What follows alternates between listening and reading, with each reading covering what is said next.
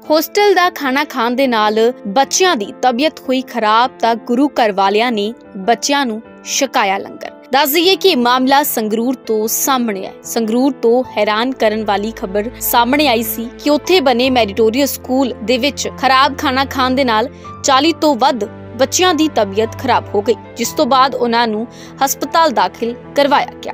ਇਸ ਘਟਨਾ ਤੋਂ ਬਾਅਦ ਸੰਗਰੂਰ ਦੇ ਐਸਡੀਐਮ ਤੇ ਵਿਧਾਇਕ ਨਰਿੰਦਰ ਕੌਰ ਭਰਾਜ ਸਕੂਲ ਪਹੁੰਚੇ। ਬੱਚਿਆਂ ਦੇ ਮਾਪੇ ਕਾਫੀ ਪਰੇਸ਼ਾਨ ਸੀ ਅਤੇ ਰੋ ਰਹੇ ਸੀ ਕਿ ਸਾਨੂੰ ਇੱਕ ਵਾਰ ਸਾਡੇ ਬੱਚਿਆਂ ਦੇ ਨਾਲ ਮਿਲਾ ਲਓ। ਹਾਲਾਂਕਿ ਸਕੂਲ ਪ੍ਰਸ਼ਾਸਨ ਨੇ ਗੇਟ ਬੰਦ ਕਰ ਦਿੱਤੇ ਸੀ। ਇਸ ਦੌਰਾਨ ਮਾਪਿਆਂ ਦੀ ਬਹਿਸ ਵੀ ਹੋਈ ਸਕੂਲ ਪ੍ਰਬੰਧਕਾਂ ਦੇ ਨਾਲ। ਪਰ ਜਦੋਂ ਬੱਚਿਆਂ ਦੇ ਨਾਲ ਗੱਲਬਾਤ ਕੀਤੀ ਗਈ, ਤਾਂ ਬੱਚਿਆਂ ਦਾ ਕਹਿਣਾ ਸੀ ਕਿ ਦੀਵਾਲੀ ਤੋਂ ਬਾਅਦ ਹੀ ਉਹਨਾਂ ਨੂੰ ਇਹ ਖਰਾਬ ਖਾਣਾ ਦਿੱਤਾ ਜਾ ਰਿਹਾ ਸੀ। ਸ਼ਿਕਾਇਤ ਕੀਤੀ ਗਈ ਸੀ ਔਰ ਸਾਨੂੰ ਇਹ ਵਾਅਦਾ ਕੀਤਾ ਗਿਆ ਸੀ ਕਿ ਹੁਣ ਖਾਣਾ ਬਦਲ ਦਿੱਤਾ ਗਿਆ। ਪਰ ਜਦੋਂ ਅਗਲੇ ਦਿਨ ਅਸੀਂ ਖਾਣਾ ਖਾਣ ਦੇ ਲਈ ਮੈਸ ਵਿੱਚ ਪਹੁੰਚੇ ਤਾਂ ਫਿਰ ਉਹੀ ਹਾਲ ਸੀ, ਜਿਸ ਖਾਣੇ ਨੂੰ ਖਾ ਕੇ ਕਈ ਬੱਚਿਆਂ ਦੀ ਤਬੀਅਤ ਖਰਾਬ ਹੋ ਗਈ। ਹਾਲਾਂਕਿ ਇਹ ਮਾਮਲਾ ਜਦੋਂ ਮੀਡੀਆ ਦੇ ਰਾਹੀਂ ਲੋਕਾਂ ਤੱਕ ਪਹੁੰਚਿਆ, ਤਾਂ ਸੰਗਰੂਰ ਦੇ ਗੁਰਦੁਆਰਾ ਸਾਹਿਬ ਦੇ ਵਿੱਚ ਜੋ ਲੰਗਰ ਸੰਗਤ ਦੇ ਲਈ ਬਣਿਆ ਹੋਇਆ ਸੀ, ਉਹ ਬੱਚਿਆਂ ਦੇ ਲਈ ਭੇਜਿਆ ਗਿਆ, ਜਿਸ ਦੀਆਂ ਇਹ ਤਸਵੀਰਾਂ ਸਾਹਮਣੇ ਆਈਆਂ ਨੇ। ਇਸ ਬਾਬਤ ਕੀ ਕੁਝ ਕਹਿਣਾ ਹੈ ਬੱਚਿਆਂ ਦਾ ਤੇ ਮਾਪਿਆਂ ਦਾ, ਇੱਕ ਵਾਰ ਉਹ ਵੀ ਸੁਣ ਲੈਣੇ ਆ ਕਿਆ ਪ੍ਰਸ਼ਾਦਾ ਆ ਚੁੱਕਿਆ ਗਾ, ਆ ਥੱਲੇ ਆ ਜਿੰਨਾ ਬੱਚਿਆਂ ਨੇ ਰੋਟੀ ਨਹੀਂ ਖਾਧੀ ਗੁਰੂ ਘਰ ਤੋਂ ਲੰਗਰ ਆ ਚੁੱਕਿਆ ਗਾ ਆ ਕੇ ਥੱਲੇ ਛਕ ਲੈਣ। ਕਿਰਪਾ ਕਰਕੇ ਸਾਰਿਆਂ ਨੂੰ ਬੇਨਤੀ ਕੀਤੀ ਜਾਂਦੀ ਆ। ਮੇਰਾ ਨਾਮ ਬਿਆਨ ਸਿੰਘ ਜੀ। ਇਹ ਕਿਹੜਾ ਕਿਹੜੀ ਕਲਾਸ ਚ ਪੜ੍ਹਦਾ ਬੱਚਾ? ਮੇਰਾ ਬੱਚਾ ਪਲੱਸ ਟੂ ਚ ਪੜ੍ਹਦਾ ਅੱਛਾ ਜੀ, ਕੀ ਦਿੱਕਤ ਆਈ ਸੀ ਭਾਜੀ? ਦਿੱਕਤ ਕੋਈ ਨਹੀਂ ਸੀ ਜੀ ਪਹਿਲਾਂ। ਅਸੀਂ ਬਹੁਤ ਖੁਸ਼ ਸੀਗੇ। ਵੀ ਮੇਰੀ ਟਰਨਸ ਬਹੁਤ ਵਧੀਆ ਸਕੂਲ ਹੈ। ਵਧੀਆ ਬੱਚੇ ਪੜ੍ਹਾ ਹੋ ਰਹੀ ਹੈ। ਪਰ ਆਹ ਤਿੰਨ ਦਿਨਾਂ ਤੋਂ ਬੱਚੇ ਬਿਮਾਰ ਆ ਜੀ। ਸਾਨੂੰ ਮੈਸੇਜ ਤੱਕ ਨਹੀਂ ਲਾਇਆ। ਸਾਨੂੰ ਮੈਸੇਜ ਲਾ ਕੇ ਦੱਸਦੇ ਥੋੜਾ ਬੱਚਾ ਬਿਮਾਰ ਆ, ਅਸੀਂ ਲੈ ਜਾਂਦੇ। ਅੱਜ ਵੀ ਆਏ ਆ ਸਾਨੂੰ ਕਿਹਨੇ ਫੋਨ ਕੀਤਾ ਸਾਨੂੰ ਗੁੜੀਆ ਨੇ ਫੋਨ ਕੀਤਾ ਰੋ ਕੇ ਜੀ। ਅੱਜ। ਮੈਂ ਬੈਂਕ ਵਿੱਚ ਸੀਗਾ ਗੁੜੀਆ ਰੋ ਕੇ ਫੋਨ ਕੀਤਾ ਵੀ ਡੈਡੀ ਮੈਨੂੰ ਉਲਟੀ ਆ ਰਹੀ ਆ ਸੁੰਡੀਆਂ ਆ ਰਹੀਆਂ ਨੇ। ਮੈਂ ਫੇਰ ਭੱਜਿਆ ਜੀ। ਮੈਂ ਗਰੀਬ ਬੰਦਾ ਜੀ ਟੈਕਸੀ ਚਲਾਉਣਾ ਟੈਕਸੀ 'ਚ ਤੇਲ ਪਵਾ ਕੇ ਆਇਆ। ਪਰ ਇਹਨਾਂ ਨੇ ਉਹ- ਉਹਦੀ ਦੱਸ ਦੇਣਾ ਸੀ ਥੋੜਾ ਬੱਚਾ ਬਿਮਾਰ ਹੈ ਸੀ ਉੱਦੀ ਲੈ ਜਾਂਦੇ। ਆਓ ਇੱਕ ਬੱਚਾ ਨਹੀਂ ਕਈ ਬੱਚੇ ਬਿਮਾਰ ਹੋਏ ਬਹੁਤ ਬਹੁਤ ਬੰਦੇ ਬਹੁਤ ਬੱਚੇ ਬਿਮਾਰ ਹੈ ਹੋ ਕਿ ਕਿਹਦੇ ਸਰ ਐਡਮਿਟ ਵੀ ਨਹੀਂ ਤੇ ਪ੍ਰਿੰਸੀਪਲ ਦੀ ਨਲਾਇਕੀ ਲਾ ਲਓ ਜੀ। ਪ੍ਰਸ਼ਾਸਨ ਦੀ ਨਲਾਇਕੀ ਲਾ ਲਓ। ਕੀ ਨਾਮ ਹੈ ਜੀ? ਮੇਰਾ ਨਾਮ ਪ੍ਰਦੀਪ ਕੌਰ ਕਿਹੜੀ ਹੈ ਚ ਪਲੱਸ 2 ਹੈ ਜੀ। ਕੀ ਦਿੱਕਤ ਆਈ ਸੀ? ਮਤਲਬ ਖਾਣਾ ਜਿਹੜਾ ਅੱਜ ਹੀ ਗੰਦਾ ਮਿਲਿਆ ਕਿ ਰੋਜ਼ ਹੀ ਨਹੀਂ ਸਰ ਕਈ ਦਿਨ ਹੋ ਗਏ ਤਿੰਨ ਚਾਰ ਦਿਨ ਹੋ ਗਏ। ਜੀ।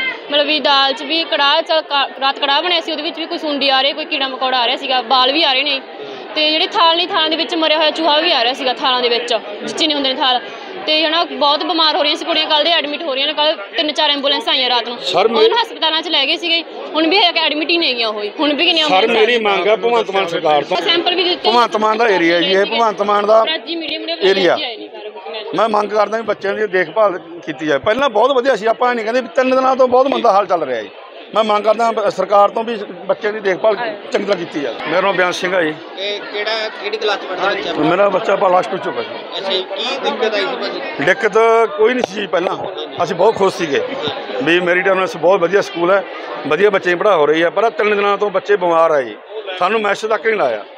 ਸਾਨੂੰ ਮੈਸੇਜ ਲਾ ਕੇ ਦੱਸਦੇ ਥੋੜਾ ਬੱਚਾ ਬਿਮਾਰ ਅਸੀਂ ਲੈ ਜਾਂਦੇ ਅੱਜ ਵੀ ਆਏ ਆ ਸਾਨੂੰ ਕਿਹਨੇ ਫੋਨ ਕੀਤਾ ਸਾਨੂੰ ਗੁੜੀਆ ਨੇ ਫੋਨ ਕੀਤਾ ਰੋ ਕੇ ਜੀ। ਮੈਂ ਬੈਂਕ ਵਿੱਚ ਸੀਗਾ ਗੁੜੀਆ ਰੋ ਕੇ ਫੋਨ ਕੀਤਾ ਵੀ ਡੈਡੀ ਮੈਨੂੰ ਉਲਟੀ ਆ ਰਹੀ ਆ ਸੁੰਡੀਆਂ ਆ ਰਹੀਆਂ ਨੇ। ਮੈਂ ਫੇਰ ਭੱਜਿਆ ਜੀ। ਮੈਂ ਗਰੀਬ ਬੰਦਾ ਜੀ ਟੈਕਸੀ ਚਲਾਉਣਾ ਟੈਕਸੀ ਤੇਲ ਪਵਾ ਕੇ ਆਇਆ। ਪਰ ਇਹਨਾਂ ਨੇ ਉਹ- ਉਹਦੀ ਦੱਸ ਦੇਣਾ ਸੀ ਥੋੜਾ ਬੱਚਾ ਬਿਮਾਰ ਹੈ ਸੀ ਉੱਦੀ ਲੈ ਜਾਂਦੇ। ਆਓ ਇੱਕ ਬੱਚਾ ਨਹੀਂ ਕਈ ਬੱਚੇ ਬਿਮਾਰ ਹੋਏ। ਬਹੁਤ ਬਹੁਤ ਬੰਦੇ ਬਹੁਤ ਬੱਚੇ ਬਿਮਾਰ ਹੈ ਮੰਨਦੇ ਹੋ ਕਿ ਕੀ ਕਿਹਦੇ ਸਰ ਐਡਮਿਟ ਵੀ ਨਹੀਂ ਤੇ ਪ੍ਰਿੰਸੀਪਲ ਦੀ ਨਲਾਇਕੀ ਲਾ ਲਓ ਜੀ। ਪ੍ਰਸ਼ਾਸਨ ਦੀ ਨਲਾਇਕੀ ਲਾ ਲਓ। ਕੀ ਨਾਮ ਹੈ ਜੀ? ਮੇਰਾ ਨਾਮ ਪ੍ਰਦੀਪ ਕੌਰ ਕਿਹੜੀ ਹੈ ਕਲਾਸ ਚ ਬੇਟੇ ਪਲੱਸ 2 ਹੈ ਜੀ। ਕੀ ਦਿੱਕਤ ਆਈ ਸੀ? ਮਤਲਬ ਖਾਣਾ ਜਿਹੜਾ ਅੱਜ ਹੀ ਗੰਦਾ ਮਿਲਿਆ ਕਿ ਰੋਜ਼ ਹੀ ਨਹੀਂ ਸਰ ਕਈ ਦਿਨ ਹੋ ਗਏ ਤਿੰਨ ਚਾਰ ਦਿਨ ਹੋ ਗਏ। ਜੀ। ਮਤਲਬ ਵੀ ਦਾਲ 'ਚ ਵੀ ਕੜਾਹ ਚ ਕਾ- ਰਾਤ ਕੜਾਹ ਬਣਿਆ ਸੀ ਉਹਦੇ ਵਿੱਚ ਵੀ ਕੋਈ ਸੁੰਡੀ ਆ ਰਹੀ ਕੋਈ ਕੀੜਾ ਮਕੌੜਾ ਆ ਰਿਹਾ ਸੀਗਾ ਬਾਲ ਵੀ ਆ ਰਹੇ ਨੇ। ਤੇ ਜਿਹੜੇ ਥਾਲ ਨਹੀਂ ਥਾਲਾਂ ਦੇ ਵਿੱਚ ਮਰਿਆ ਹੋਇਆ ਚੂਹਾ ਵੀ ਆ ਰਿਹਾ ਸੀਗਾ ਥਾਲਾਂ ਦੇ ਵਿੱਚ ਜਿੱਚੇ ਨਹੀਂ ਹੁੰਦੇ ਨੇ ਥਾਲ। ਤੇ ਹਨਾ ਬਹੁਤ ਬਿਮਾਰ ਹੋ ਰਹੀਆਂ ਸੀ ਕੁੜੀਆਂ ਕੱਲ ਦੇ ਐਡਮਿਟ ਹੋ ਰਹੀਆਂ ਨੇ ਕੱਲ ਤਿੰਨ ਚਾਰ ਐਂਬੂਲੈਂਸ ਆਈਆਂ ਰਾਤ ਨੂੰ। ਉਹਨਾਂ ਨੂੰ ਹਸਪਤਾਲਾਂ 'ਚ ਲੈ ਗਏ ਸੀਗੇ ਹੁਣ ਵੀ ਐਡਮਿਟ ਹੀ ਨਹੀਂ ਗਈਆਂ ਹੋਈ ਹੁਣ ਵੀ ਕਿੰਨੀਆਂ ਸਰ ਮੇਰੀ ਮੰਗ ਹੈ ਭਗਵੰਤ ਮਾਨ ਸਰਕਾਰ ਤੋਂ। ਸੈਂਪਲ ਵੀ ਦਿੱਤੇ ਭਗਵੰਤ ਮਾਨ ਦਾ ਏਰੀਆ ਜੀ ਇਹ ਭਗਵੰਤ ਮਾਨ ਦਾ ਰਾਜੀ ਮੀਡੀਅਮ ਨੇ booking ਮੈਂ ਮੰਗ ਕਰਦਾ ਵੀ ਬੱਚਿਆਂ ਦੀ ਦੇਖਭਾਲ ਕੀਤੀ ਜਾਏ ਪਹਿਲਾਂ ਬਹੁਤ ਵਧੀਆ ਸੀ ਆਪਾਂ ਇਹ ਨਹੀਂ ਕਹਿੰਦੇ ਵੀ ਤਿੰਨ ਦਿਨਾਂ ਤੋਂ ਬਹੁਤ ਮੰਦਾ ਹਾਲ ਚੱਲ ਰਿਹਾ ਜੀ। ਮੈਂ ਮੰਗ ਕਰਦਾ ਸਰਕਾਰ ਤੋਂ ਵੀ ਬੱਚਿਆਂ ਦੀ ਦੇਖਭਾਲ ਚੰਗੀ ਤਰ੍ਹਾਂ ਕੀਤੀ ਜਾਵੇ।